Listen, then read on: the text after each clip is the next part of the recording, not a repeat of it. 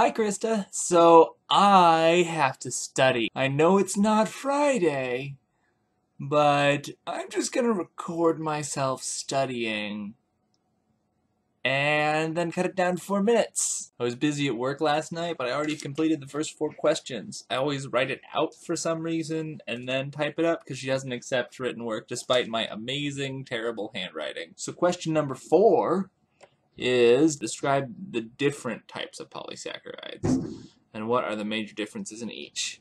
The first one is glycogen. La la la. Uh, then there are starches.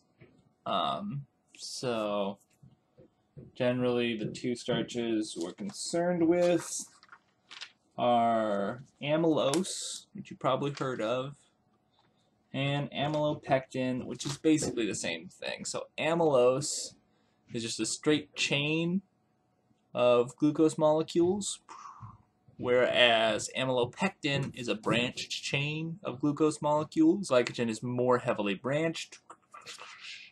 Amylopectin is sort of like several parallel branches. And then fibers. Their dietary fibers are also carbohydrates, but we can't digest them. There's some bacteria that have the appropriate enzymes, and some of those bacteria will live in your gut. Insoluble fiber is not fermentable by bacteria in your gut.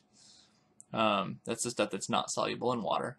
Um, and it doesn't form gums or gels. It doesn't thicken um, what you're eating, the liquid that you're eating. So um, as a result, it doesn't slow digestive empty or gastric emptying, the emptying of your stomach as much. Whereas um, soluble fibers do form gums and gels, and they slow gastric emptying. It's the emptying of your stomach. Um, so you feel fuller longer. Pro promotes your feelings of satiety. Satiety. It is very important to eat foods with plenty of insoluble fiber in order to have comfortable bowel movements. Um, also for colorectal health, it prevents diverticular disease, and diets high in insoluble fiber will reduce your risk for colorectal cancer. That's for healthy people.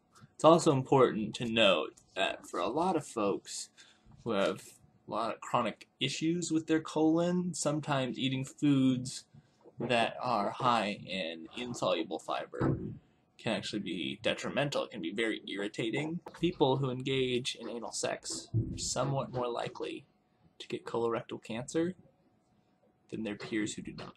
Did you know that the carapace of arthropods um, is also carbohydrate?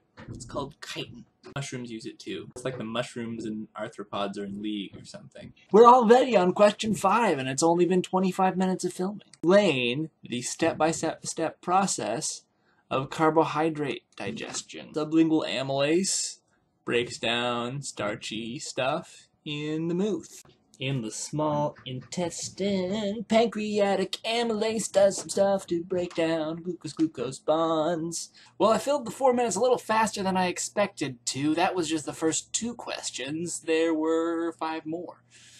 But it's just turned out to be a video about fiber, and everybody loves fiber. So, Krista, I will see you tomorrow.